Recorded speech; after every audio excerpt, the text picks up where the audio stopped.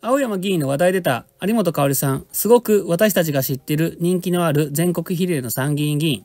青山議員の名前が出た有本香氏、スーパーニュースアンカーに青山さん出ておられた、あえて出したなので、朝八で青山議員の名前や話題を出していたことをご紹介しました。これ以外にも、朝八開始当初は、アイヌで賛成や、一気だけなどの揶揄も散見されましたが、LGBT 法案の出来事以降は以前に比べるとかなりトーンダウンした印象です。今回はさらに見方によっては応援しているようにも見える発言がありました。令和5年12月4日、百田直樹、有本香織のニュース生放送朝8時第260回。茂木さんは候補の一人であることは間違いないですね。青山議員が出る言うてますけどね。あはは、青山さんが出るっていうのはあれでしょ正式に総裁選をやるときに20人のあれを集めて出るってことでしょ？なんかそんなこと言うてるみたいですね。いや、でも出たらいいと思いますよ。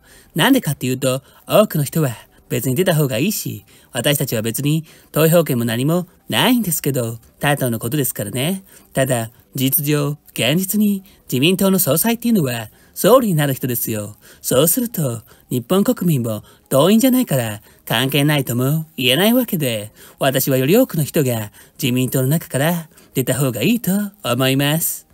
とのことでした。百田直樹先生がぶっ込んだところに、有本香織さんが出たらいいと答えました。ちなみにお二人の青山議員の評価はこちらです。百田氏は青山氏をよく思われていないようですが、なぜですか？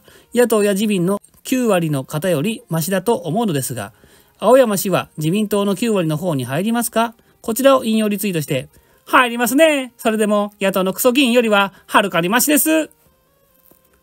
いやいや、この人は青山議員に批判的な私や百田さんをお嫌いになっている YouTuber さんなんですね。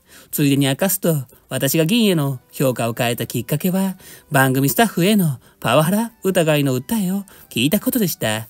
後年の安倍総理暗殺後の体に入った発言にも驚きましたが。とのことでした。百田直樹先生、野党のクソよりはるかにマシだがクズ。有本香氏、青山議員に批判的な私や百田さんとのことでした。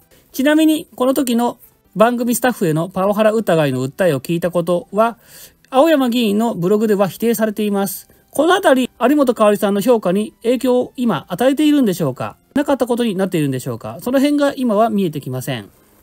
日本も大統領制があったらね。それもちょっと怖いですね。わし、出んのに。あはは。あやわさん、参議院じゃないですか。今まで慣例的に参議院議員から出た人はほぼいないんじゃないですかね。ほとんどいないと思いますね。参議院の議員から総理になった人はいませんよね。総理になった人はいないですね。少なくともね。総裁もいないかもしれませんね。どうなんでしょうね。あんまり聞けませんよね。やっぱり総裁選出るとか、いわゆる総理を狙うとなってきたら、衆議院にくら替えしていきますね。だって、林義正もずっと参議院やったのに、衆議院にくら替えしましたよね。次を狙いたいからってことですよね。だから参議院議員でもし自民党総裁選に出ると、あんまり例のないことだとは思いますけど。20人推薦人集めるのも結構大変ですけどね。どんどんやられたらいいと思いますよ。なるほど。まあ、青山さんのことは置いといて誰になりますかねとのことでした。至って普通の論評という印象でした。少なくとも青山議員の名前出た、浴びるし、青山さん総裁選出るらしい、話、あっはっは、いや、笑っちゃいけないけど、という動画でご紹介した原田編集長のような嘲笑は感じませんでした。通常の選挙と同じで、投票権ある方は候補者から選ぶしかありません。総裁選出馬メンバーの中で青山議員が相対的に良いかどうか、現時点で出馬発言の意義を感じるのは難しいと個人的には思います。正解は一寸先は闇です。例えば今なら政治資金パーティーやキックバックの件でどの議員が候補から外れるか全くわかりません。選挙を勝ち抜き、総裁選前のマスコミバッシングのサバイバルゲームに勝ち抜き、総裁選で当選すると、どの候補も白票の上を歩まれているのではないのかなと思いました。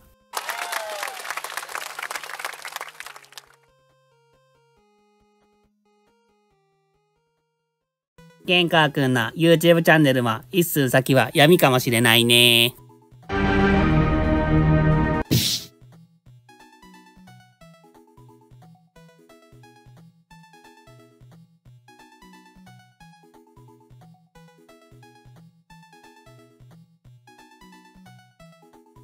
また一つお利口さんになったなチャンネル登録お願いします明日から本気出すから大丈夫。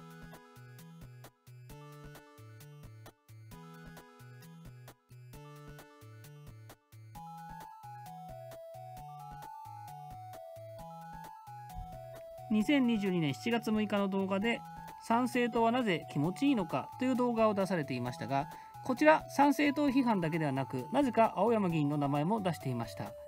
うんこの辺意味わからん思考回路ですね。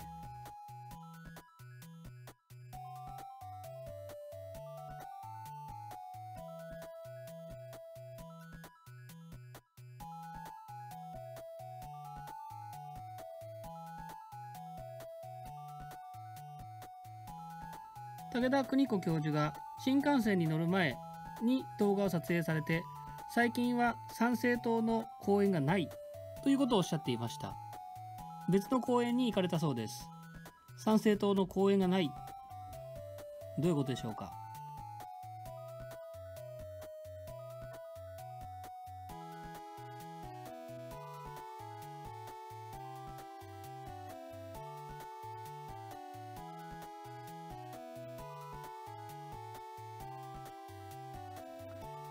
私は参政党のことは褒めたり批判したりしていますが基本的には保守野党が誕生することには賛成です。ちょっと参政党批判のリプライしか送っておられないアカウントが私のイラストを使っておられますがイラストの使用は控えていただきたいと思います。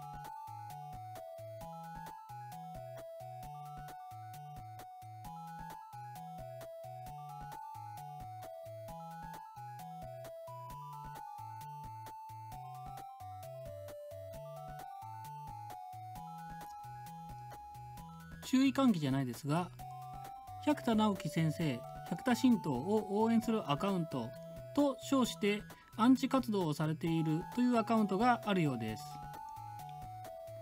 その中に私のイラストを使ってるアカウントがありました。こちら百田神道のアンチというより参政党アンチみたいな発信が目立っていましたがうーんこういうアカウントに私がイラストを提供してると思われるのは嫌なのでできれば使用を控えていただきたいと思います。